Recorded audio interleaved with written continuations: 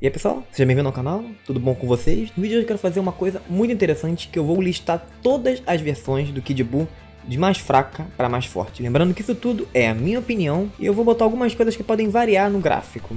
Então já deixa seu like, me ajuda muito, deixa seu comentário e vamos agora pro vídeo. A gente pode começar abrindo a lista com o pequeno Majin Buu que no caso é uma forma que o Majin tem no Xenoverse 2, inclusive essa forma é até jogável, onde ele faz pequenos clones que são bem mais fracos do que ele, tanto que se você jogar o Xenoverse 2, você vai ver que ele tem um HP minúsculo, minúsculo, a ponto que ele é o pior personagem do jogo praticamente. Aí em seguida, eu vou botar o clone do Kid Buu de Dragon Ball FighterZ, eu considero que ele não seja tão forte assim, eu considero que ele seja um dos mais fracos por ele ser um clone, clones são bem limitados, etc. Uma coisa legal sobre ele é que ele tem essa cor que parece muito que ele tá no modo maldade pura, igual aquele Majin Buu que tem. Então, Aí uma coisa chata também que tem sobre ele é que ele não é uma skin jogável. Você tem ele no modo história do Fighters, mas só que ao mesmo tempo você não tem ele para você controlar. E isso é um tanto quanto sem graça, porque o jogo tem várias skins e essas skins seriam as últimas, as únicas que seriam interessantes de jogar, mas não colocaram. Agora a gente tem o Buu Gordo no seu estado bom. Ele é mais forte do que o clone do Kid Buu do Fighters, isso é certeza. Só que a gente tem um problema aqui agora. A gente vê que ele praticamente é o Majin Buu assim canônico mais fraco de todos. E isso é verdade. Só que teoricamente, eu acho que ele empata com o Super Buu Maldade, com o Majin Buu Maldade Pura no caso, porque tecnicamente ele tem o mesmo poder. Só que o, o que estraga o Majin Buu gordo no, no, seu estado bom é porque ele é uma pessoa inocente, ele tem um corpo gordo que atrapalha em batalhas. E como ele não tem todo esse foco em batalha, ele acaba se, se ficando mais frágil perante as batalhas, porque a gente vê que ele demora para pegar firme na batalha, como a gente viu contra a batalha contra o Basil, por exemplo. Então, a gente vê que até a raiva é um estopim que ele tem para ficar mais forte. Agora o próximo, que é o Bull Maldade Pura, a gente vê que ele é mais forte do que o Bull Gordo. Só como eu falei, eles têm o mesmo potencial de ter o mesmo poder. Uma curiosidade que eu tenho sobre ele também é que em alguns jogos, por exemplo Dragon Ball Heroes, tem uma versão dele que ele tem a cor rosa normal. Na verdade, no mangá, ele não tem essa cor preta que botaram no anime, essa cor cinza. Eles botaram uma cor rosa normal, como você pode ver em algumas ilustrações do mangá. E agora sim a gente vê uma forma que o Buu gordo pode ficar mais forte que maldade pura. Que no caso é o Bubon magro. Eu não, eu não sei ainda que nome deram pra essa, pra essa transformação. Seria o Bubon treinado, etc. Essa forma ele é bem mais forte, ele tem um corpo agora mais musculoso. É meio magrelo, mas é um musculoso meio, meio, meio magrelo, sabe? E com esse treinamento ele, ele, consegue até derrotar o Goku. Você pode ver que ele tá mais inteligente, tá mais ativo, etc. De ver que teria tido um potencial legal de explorar essa forma, só que infelizmente não, não apresentaram, deu nisso. Agora a gente tem o Ubi. O Ubi, eu considero que ele é mais forte que o Majin Buu bom, porque o Ubi ele teve treinamento pelo Goku, a gente viu que ele tava com poder maneiro em Dragon Ball GT, ao menos no começo, a poder enfrentar pau a pau o Goku. A gente pode ver que os dois enfrentaram o Goku, tanto o Ubi quanto o Majin Buu bom no estado magro, e a gente viu que os dois ganharam, mas só que no caso o Ubi ele tava pau a pau, enquanto o Majin Buu ganhou por causa de uma vantagem, assim, ele usou estratégia. Então o Ubi para mim é mais forte que o Majin Buu magro. Agora o próximo seria o Kid Buu. O Kid Buu, ele é mais forte que todos, não tem como explicar, mas o Kid Buu ele consegue copiar técnicas assim, ele copiou o teletransporte facilmente, copiou o Kamehameha facilmente, ele tem uma habilidade de se adaptar incrível, o corpo dele estica de uma... Na verdade, todos os Majin Buu ele esticam o corpo. Só que eu acho que a vantagem do Kid Buu é a cri criatividade que ele tem, a, cri a criatividade que ele faz para esticar o corpo, etc. Eu acho muito útil o que ele pode fazer em batalha. E acima dele, na minha opinião, acho que poderia ser o Majube. Porque o Majib é, vai muito além de um período onde vilões do, do Dragon Ball Z já eram ultrapassados. A gente pode ver que o, o Buu, ele era mais forte pelo menos do que o Baby na segunda forma. É claro que ele tomou um pau pra terceira. Mas ainda é muita coisa vista daquela época, onde o Kid Buu já tinha sido ultrapassado por pessoas como o General Hildo, por exemplo, que, que o Goku falou na história, que o General Hildo era mais forte que o Kid Buu. Eu não acredito naquilo, mas eu, eu vou ter que considerar, porque foi citado. Mas acho que acima disso tudo, acima do Kid, acima do Majube, seria o Kid Buu modo vilão. Essa transformação aparece em Xenoverse 1. Essa, essa forma aumenta bastante o poder do usuário. Então, na minha opinião, eu acho que essa forma do, do Kid Buu, não com toda a certeza do mundo, mas eu acho que ela poderia derrotar o Majube, porque aumenta bastante. Agora, a que vem depois dessa seria o Kid Buu no modo super vilão, que também, que agora no caso aparece em Xenoverse 2, Dessa forma ele fica muito, muito mais forte em relação ao modo vilão do jogo anterior. Na, e se eu tinha dúvida na primeira forma que ele poderia derrotar Majube, Com essa forma eu tenho certeza absoluta. Agora as formas que eu vou falar a partir de agora, eu não tô botando elas porque eu acho que sejam mais fortes, porque eu acho que sejam mais úteis. A gente pode começar com Kid Buu Babidi absorvido. Por que, que essa forma pode ser interessante de usar? Bom, porque se o Kid Buu ele conseguir absorver um pouco da mente do Babidi, ele conseguir pegar a mente manipuladora que ele tem, porque o Babidi ele tem magia que pode fazer com que ele possa manipular pessoas fortes, por exemplo, que imagina só, o Babidi, ele conseguiu manipular o Daburá. O Daborá por si só, ele tem um poder parecido com o do céu. Então, pela lógica, ele também conseguiria pegar uma pessoa tipo o céu da vida. Agora imagina só se o Kid Buu ele manipula o coração de vários guerreiros, que agora ele tá mais forte que o Babidi, ele tem a mente do Babidi, a magia do Babidi, agora ele pode manipular vários guerreiros e fazer um exército inteiro. Eu ainda não acho que ele teria tanta inteligência para conseguir orquestrar um exército, mas eu acho que essa forma seria bem interessante para mudar a abordagem que o Kid Buu tem. Eu acho que poderia dar certo. Já o Kidbook Bitoshin, eu também acho que ele poderia ter certos conhecimentos que seriam importantes para ajudar. Por exemplo, a gente poderia ter o Kid Buu com toda, todas as habilidades que ele já tinha, certo? Imagina o Kid Buu padrão que já era forte por si só. Agora imagina que ele tem a habilidade de Kaioshin, por exemplo. Ele pode paralisar o oponente, tipo Shin. Ele pode usar o Kai Kai, que o Kibito tem, por exemplo. Fora que o, o Kibito Shin, ele, é, ele já é uma forma que está além do céu. Porque segundo o que o Kaioshin falou, ele, ele teria um poder parecido com o Goku da saga, da saga Saiyajin, então já era um poder perto do céu. Agora, mais a fusão com, com o Kibito ainda, um pouco mais forte. Ainda não acho que seria muito forte, mas eu tô botando ele aqui não porque eu acho mais forte que as outras formas que eu falei mais cedo, mas porque eu acho que ela pode ser uma forma que vai explorar o personagem de outra forma. Agora, o Sheno Kid Buu. O que, que o Sheno Kid Buu tem diferente do Buu original? Bom, ele tem a diferença que ele tá com uma esfera do dragão negra do peito, que são as esferas do dragão do mundo dos demônios. Com essa esfera ele consegue ficar bem mais forte. Só que aqui tá, ele só fica mais forte, ele não tem nenhuma vantagem além do padrão. Ele só fica mais forte. Eu não tenho certeza se essa forma supera o modo vilão e o modo super vilão. Eu vejo certos personagens como Turles, por exemplo, que eram bem fracos e conseguem ao mesmo tempo se rivalizar com deuses demônios, por exemplo, em Dragon Ball Heroes. Então vou me basear nisso. Agora, a forma que realmente fica bem mais forte, que no caso seria Ultra Buu, após absorver um dos Kaioshins do, do passado.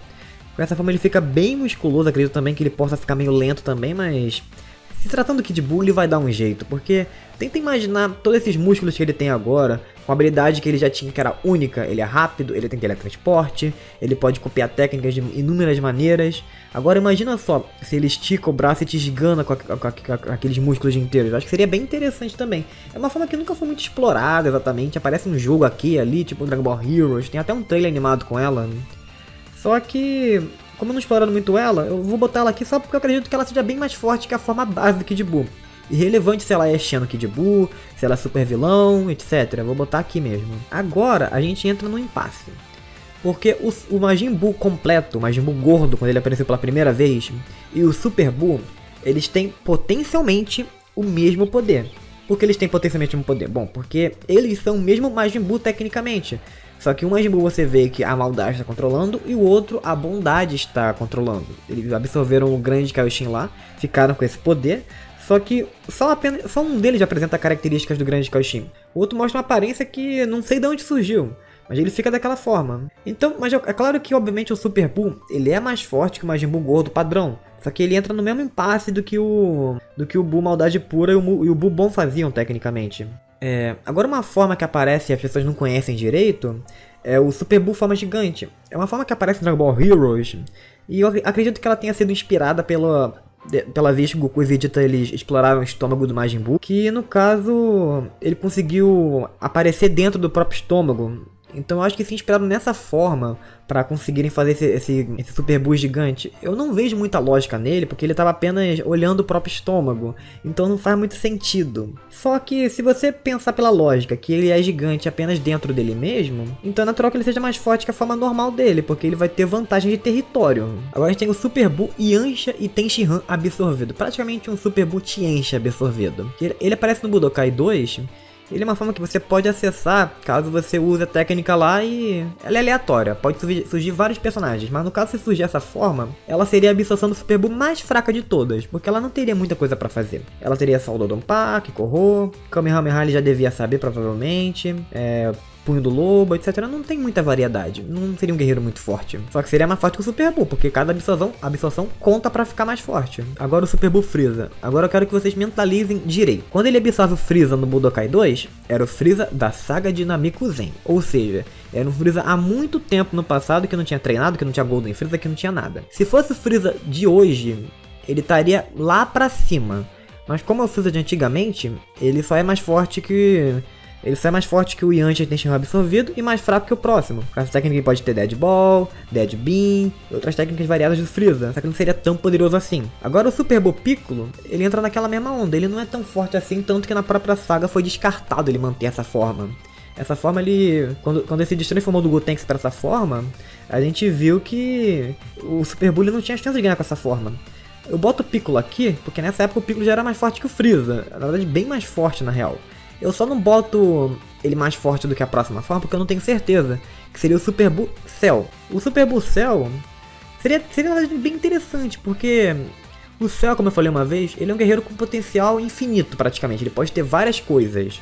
Agora tenta imaginar um Super Buu que absorveu o céu e tem toda e tem toda a habilidade do céu, por exemplo. O Super Buu, se o céu já tinha muita técnica, imagina o Super Buu com o céu absorvido. O céu é inteligente, o céu tem várias técnicas. Eu não, eu não sei se alguma outra coisa do céu poderia absorver, tipo Gene Saiyajin, essas coisas. Não sei se poderia existir um Golden Super Buu, por exemplo, como céu absorvido. Não sei se isso seria eficiente. Mas pensa um pouquinho. Se o céu já tem essa habilidade de regeneração, o, o Super Buu também tem. A gente funde tudo isso a gente consegue fazer, por exemplo, um Super Buu com Cell, que ele sofre Zenkai, ele pode usar o Kaioken, e daí toda vez que o Kaioken fizer o dano, ele pode se reverter, se curar disso, etc. Agora imagina o monstro que isso criaria. Pois é. Na verdade, com isso eu poderia até fazer, botar ele no topo da lista, porque com isso aí ele poderia usar o Kaioken, se ferir, aí sofre um Zenkai, etc. E seria infinito, mas já tem que ser justo, né? Depois dele a gente teria o Super Buu Vegeta, que também é do Budokai 2, como os que a gente falou aqui agora. Só que no caso, o Vegeta nessa época já era mais forte do que o Cell, por exemplo. Então eu boto ele aqui, ele teria Garlic Roll, teria Big Bang Attack, teria Final Flash, teria um monte de coisa.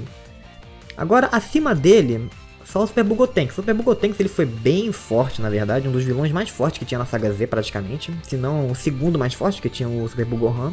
Agora já o Super Bugohan, ele é o mais forte de todos, não tem explicação. Ele é o vilão mais poderoso de Dragon Ball Z. O que as pessoas pensam que não é porque o Kid Buu vem depois e também porque o Vegeta humilhou ele. Então é claro que a gente não tem muito, muito o que falar dele.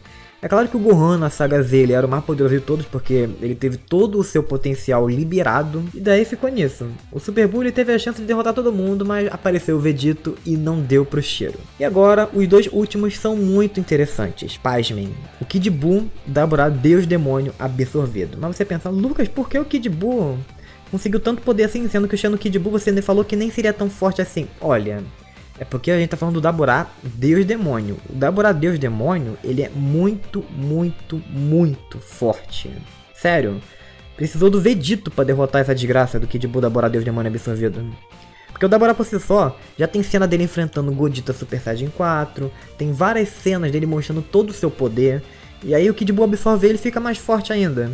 Se você já pensa que isso foi apelão com esse Daburá, porque você não viu o Kid Buu Daburá absorvido, mas Janemba absorvido. E nota, esse Kid Buu, ele é Xeno, ou seja, ele tem aquela esfera do dragão negra no, no corpo, que deixa ele mais forte ainda com aquela energia negra. E o Janemba que ele absorveu também tinha isso, ou seja, a gente tem o Daburá que é Deus Demônio, a gente, a gente tem o Kid Buu que já estava mais forte devido à esfera do dragão negra. Eles têm o Janemba, que conseguiu uma forma nova e ainda conseguiu o poder da esfera negra. Ou seja, você consegue ver o quão forte, na minha opinião, só com o Janemba.